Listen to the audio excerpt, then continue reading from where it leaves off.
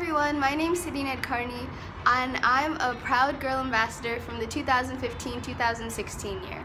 Hi, my name is Zachlyn and I am a girl ambassador for human rights. I started the program last year and this year I'll be mentoring all the new coming in girls.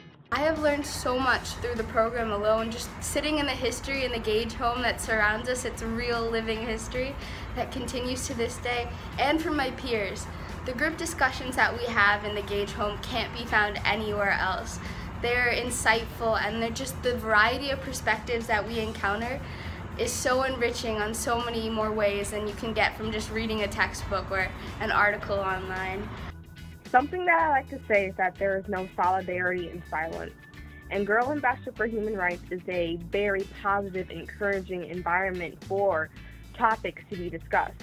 There's no judgment, your opinion is valued, and what we do is we kind of deconstruct problems from the cause to the solution. Those perspectives are what have helped me to become more confident in my own beliefs, but also challenge my beliefs.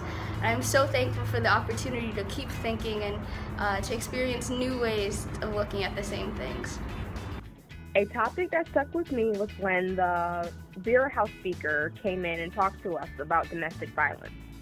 I didn't really consider domestic violence a social issue, but when I learned about how many lives it impacted, it made me realize that social justice issues don't have to be political or economic, they can be personal. I began to look for unhealthy relationships among my friends, and I hope that one day I'll be able to give someone really good advice so they don't end up in that kind of situation.